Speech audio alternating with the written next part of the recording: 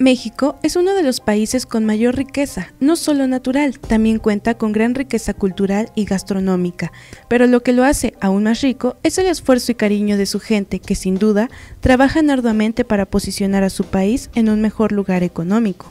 México cuenta con un gran acervo de productos hechos por manos de mexicanos que sin duda nos identifican y nos hacen únicos no solo somos consumidores de productos extranjeros. Entre los productos que México importa de otros países se encuentran la gasolina, los automóviles para transporte de personas, así como partes y accesorios de carrocería para vehículos automotores y manufacturas de plásticos, entre otras cosas.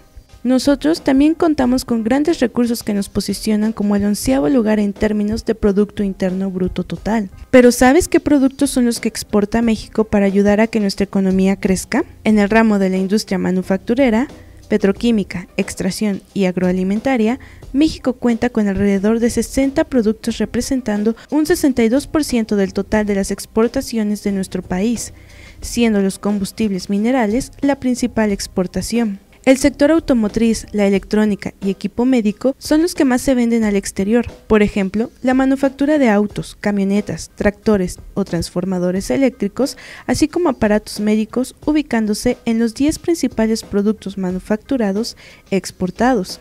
En la cuestión energética, México no solo exporta petróleo, también gas natural, aceites minerales, alquitrán, carbón mineral y aceites lubricantes. En el sector agroalimentario exporta tomate, aguacate, chile, cebolla, sandías, cerveza de Malta y tequila principalmente. Muchos de estos productos se van a Estados Unidos, Canadá, Sudamérica, Unión Europea, Asia y Centroamérica. Este tipo de comercio logra incentivar en México las exportaciones para incrementar la competitividad, no solo de las empresas, sino también de los propios habitantes. Para yoinfluyo.com Liliana Jiménez.